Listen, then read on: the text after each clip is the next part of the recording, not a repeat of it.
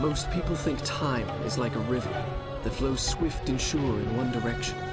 But I have seen the face of time, and I can tell you, they are wrong.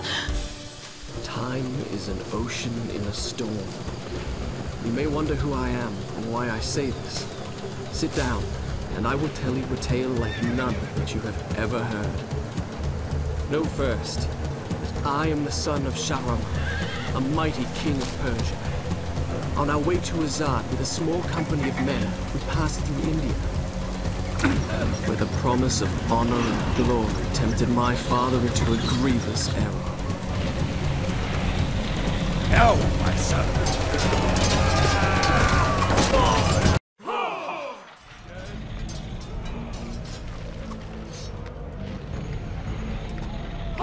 Do you think I felt regret as I gazed upon the destruction we had wrought? Or at least humility at the speed with which a world can be transformed from a good world into a hell? If you think so, you are mistaken. In that moment I thought of one thing only. The honor and glory I would bring my father by fighting like a warrior in my first battle.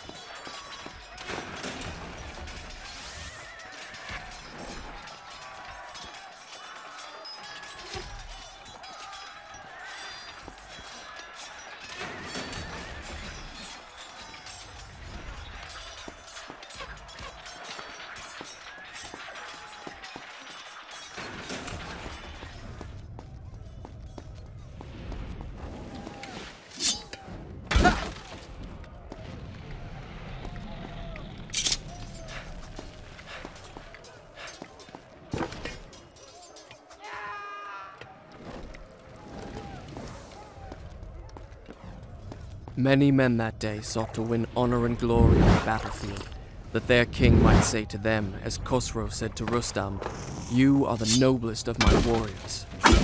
From the moment my sword tasted blood, I knew this would not be my way. I would win my father's praise not by killing, but by being the first to find the Maharaja's treasure vault and the wonders within.